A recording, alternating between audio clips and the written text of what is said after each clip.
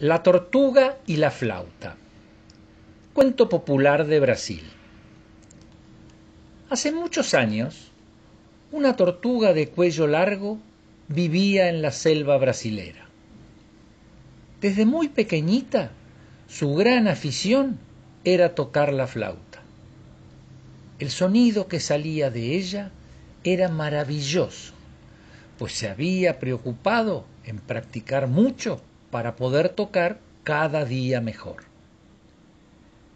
El resto de los animales agradecía despertarse cada mañana con unas melodías tan bellas. En cuanto se desperezaban, muchos de ellos buscaban a la tortuguita para sentarse a su lado y escuchar un rato un poco de buena música. Un día, un hombre que pasaba por allí cerca escuchó esas bellas notas musicales y afinó el oído para descubrir de qué lugar venían. Anduvo un rato y finalmente encontró a la tortuga distraída soplando la flauta. Vaya, vaya, vaya. ¿Qué tenemos por aquí?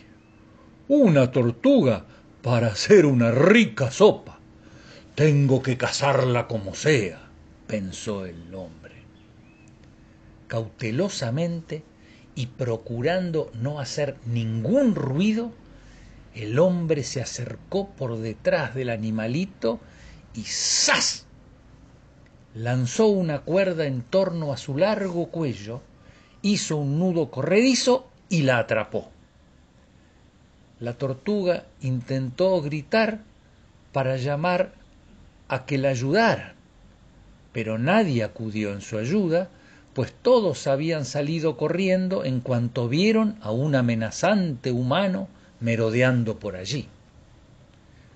En cuestión de segundos, la pobre tortuga, aferrada a su querida flauta, se vio encerrada en una oscura bolsa de la que no podía escapar. Cuando el hombre llegó a su casa, encerró a la tortuga en una jaula de barrotes oxidados con mucho olor a humedad. Giró la llave y miró a sus hijos. Niños, tengo que ir a hacer algunos recados. Dejo sobre la mesa la llave de la jaula, pero ni se os ocurra abrirla. No te preocupes, papá. Vete tranquilo dijo la hermana mayor, quien era quien se quedaba a cargo de sus hermanitos. El padre se fue y la tortuga, invadida por la melancolía, comenzó a tocar la flauta. La tristeza se percibía en cada nota que salía de esa flauta, pero la música era bellísima. Los niños, emocionados, escuchaban boquiabiertos. Al finalizar, uno de ellos rompió el silencio. Tortuguita, qué bonito. Eres una gran artista. Sí, eso dicen de mí por estos lugares. Lo que no sabéis es que bailo mejor de lo que toco, dijo viendo una oportunidad de salvar su vida. ¿De veras? ¿Sabes bailar a pesar de ir cargada con ese caparazón y de tener unas patas cortas y gorditas? preguntó la más chiquitita. Claro. Y aunque no lo creáis, puedo hacer las dos cosas al mismo tiempo. Si me abren, os lo demostraré.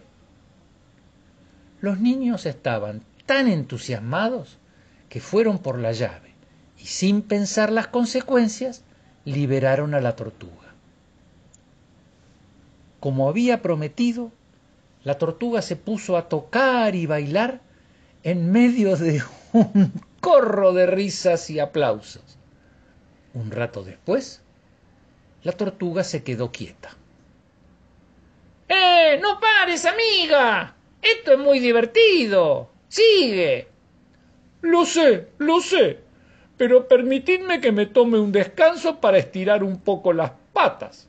Necesito caminar un ratito y recobrar fuerzas. Saldré un momento a dar un paseo y enseguida estaré de vuelta.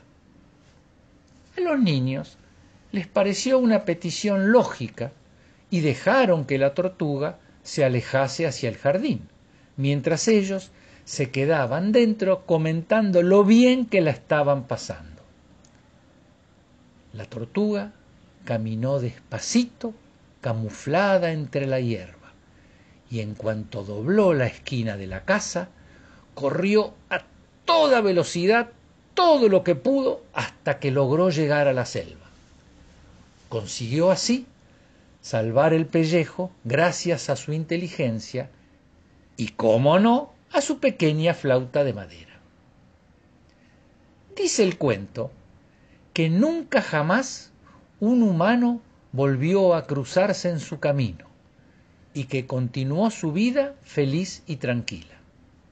Eso sí, hay quien dice que alguna vez, al atravesar la espesura del bosque tropical, ha podido escuchar bellas melodías que parecen brotar del sonido de una flauta. ¿Quién sabe si por allí andará la tortuguita de nuestro cuento? Y colorín colorado, este cuento ha terminado.